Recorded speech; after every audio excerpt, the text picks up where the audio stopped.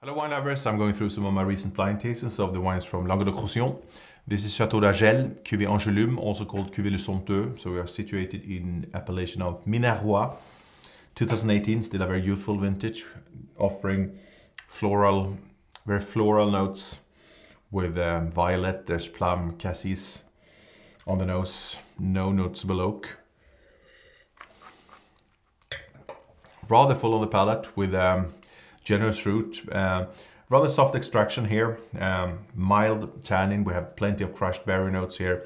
Much more on the red fruity side with confiture of um, raspberry or plum with a mild spiciness and a soft and supple finish. So um, good drinkability already and over the coming two to three years.